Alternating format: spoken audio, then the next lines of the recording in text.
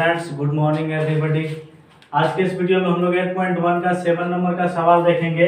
तो seven number सवाल है eight cot theta equal to seven बटा eight evaluate one plus sine theta into one minus sine theta divided by one plus cos theta into one minus cos theta और दूसरा सवाल है cot square theta तो इसका मान निकालना है। तो क्या करेंगे? तो इसका सॉल्यूशन करेंगे। लिखेंगे गिवन दैट गिवन दैट क्या है?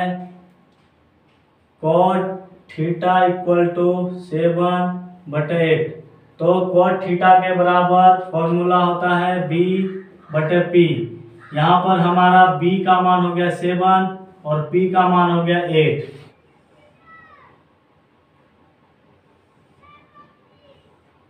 समकोण त्रिभुज बना लिए। और इसका नाम देंगे ए बी सी ये समकोण हुआ। ये हमारा लंब हो गया, ये कर्ण हो गया, ये आधार हो गया। अब कॉट थीटा देख रहे हैं यहाँ पर कॉट थीटा है, यानी एंगल जो है थीटा है। तो थीटा जो है, न्यून कोण पे रखेंगे। या तो ए पर रख सकते हैं, या तो सी पर रख सकते हैं। तो हम सी पर रख दिए थीटा थीटा से देख करके बी का मान लिखना है, यानी आधार का मान लिखना है। तो थीटा से देखेंगे तो सामने वाला लंब होता है तो आधार ये हो जाएगा। फिर थीटा से देखेंगे तो सामने वाला पी होता है पी का वैल्यू एट होता है, सामने वाला लंब हो गया, लंब का वैल्यू एट हो गया। अब जो है इस समकोण त्रिभुज एबीसी में देख रहे हैं, लंब मालूम है, आधार मालूम है, लेकिन कर्ण मालूम नहीं है। तो कर्ण का मान निकालेंगे, लिखेंगे in triangle A B C इसमें कर्ण निकालना है तो कर्ण को एच बोलेंगे। एच इक्वल टू फॉर्मूला होगा P square plus B square H का हम नाम दे देंगे ए सी एच वाले भुजा का नाम है A C equal to root under और पी यानी लंब जो है, उस भुजा का नाम है ए बी तो हो जाएगा ए बी का होल स्क्वायर और बी जो है, यानी आधार, इसका नाम हो जाएगा बी सी का होल स्क्वायर। ए बी का वैल्यू दिया है। ए बी का वैल्यू दिया है एट हो जाएगा एट का होल स्क्वायर। बी सी का वैल्यू दिया है सेवन तो हो जाएगा सेवन का होल स्क्वायर। आठ का स्क्वायर करेंगे, चौसठ होगा। सेवन का स्क्वायर करेंगे, उनचास होगा। दोनों को प्लस करेंगे तो रूट एक सौ तेरह आएगा। तो रूट एक सौ तेरह का वर्गमूल नहीं निकलेगा, क्योंकि ये पूर्ण वर्ग नहीं है। पूर्ण वर्ग नहीं होने के कारण रूट एक सौ तेरह का वर्गमूल नहीं निकलेगा। पहला सवाल को लिखेंगे एच नहीं था एच का एच का मान निकाल लिए। इसके बाद पहला जो सवाल है उसको लिखेंगे। पहला सवाल है हमारा one plus sine theta one minus sine theta but बटे में है one plus cos theta into one minus cos theta अब इसका मान निकालना है। यहाँ पर देख रहे हैं, इसको अगर ए मानते हैं, इसको बी मानते हैं तो हमारा एक फॉर्मूला सेट हो रहा है। A plus B into A minus B कौन सा फॉर्मूला सेट हो रहा है? A plus B into A minus B के बराबर फॉर्मूला होता है A square minus B square same नीचे में भी यही फॉर्मूला सेट हो रहा है। A plus B into A minus B तो क्या करेंगे? इस फॉर्मूला पे सेट कर देंगे।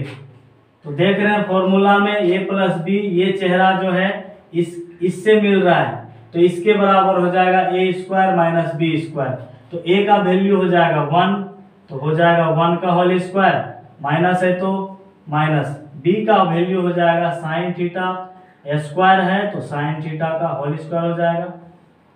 बट फिर इसमें यही फॉर्मूला सेट होगा। इसको अगर ए मानते हैं, इसको बी मानते हैं। फिर इसको ए मानते हैं, इसको बी मानते हैं। माइनस है तो माइनस प्लस है तो प्लस देखिए, थोड़ा ध्यान दीजिएगा, ये भी नीचे वाला टर्म भी A plus B into A minus B के फॉर्मूला पे सेट हो रहा है। तो इसको क्या करेंगे? इसी फॉर्मूला पे बैठा देंगे। इसी फॉर्मूला पे सेट कर देंगे।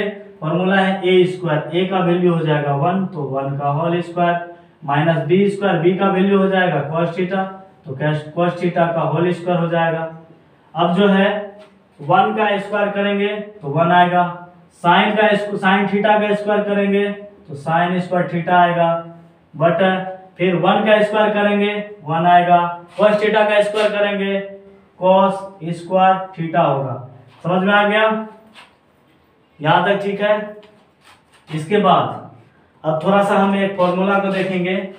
फॉर्मूला होता है sine square theta plus cos square theta equal to one तो यहाँ से साइन स्क्वायर थीटा का वैल्यू निकालेंगे। तो वन इधर है।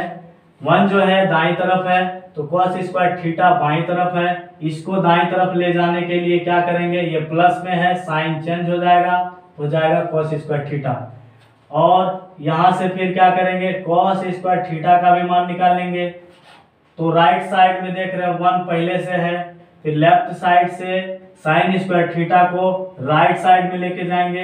ये प्लस में है, इधर हो जाएगा माइनस में। यानी कहने का मतलब one minus cos square theta के बराबर क्या लिख सकते हैं? साइन स्क्वायर थीटा और one minus sine square theta के बराबर लिख सकते हैं कॉस स्क्वायर थीटा तो यहाँ पर one minus sine square theta है तो one minus sine square theta के बराबर लिख सकते हैं कॉस स्क्वायर थीटा। ठीक है? इसके बाद फिर one minus cos square theta के बराबर, one minus cos square theta के बराबर लिख सकते हैं साइन स्क्वायर थीटा। फिर एक फॉर्मूला हम लोग पहले पिछले वीडियो में देख चुके हैं कि कॉस थीटा बटर साइन थीटा इक्वल टू होता है कॉट थीटा अगर इसी फॉर्मूले में यहाँ पर स्क्वायर दे दें तो ये भी हो जाएगा स्क्वायर मतलब कॉट स्क्वायर थीटा के बराबर हम लिख सकते हैं cos square theta by sine square theta और कॉस स्क्वायर थीटा बटा साइन स्क्वायर थीटा के बराबर भी हम लोग लिख सकते हैं कॉट स्क्वायर थीटा तो यहाँ पर देख रहे हैं कॉस स्क्वायर थीटा बटा साइन स्क्वायर थीटा है। सेम यही फॉर्मूला यहाँ पर फॉर्मूला दिख रहा है तो इसके बराबर हो जाएगा cot square theta cot square theta अब हम देख रहे हैं कॉट थीटा का मान मालूम है, सेवन बटा एट। यहाँ पर देख रहे हैं स्क्वायर है तो दोनों पे क्या हो जाएगा? स्क्वायर आ जाएगा। सेवन का वर्ग उनचास होगा और आठ का वर्ग होगा चौसठ। ये रहा पहला सवाल का आंसर। अब दूसरा सवाल है, दूसरा सवाल भी बिल्कुल आसान है। दूसरा है कॉट स्क्वायर थीटा तो मेरा कॉट स्क्वायर थीटा का मान सवाल में ही दिया हुआ है। तो कॉट स्क्वायर थीटा बराबर कॉट स्क्वायर थीटा बराबर दिया है सेवन बटन एट स्क्वायर है तो स्क्वायर कर देंगे। सेवन सेवन का स्क्वायर करेंगे फोर्टी नाइन आएगा, बटा एट का वर्ग करेंगे तो सिक्सटी फोर आएगा। ये रहा दोनों सवाल का आंसर अब अगले वीडियो में देखेंगे नेक्स्ट सवाल। तब तक के लिए थैंक यू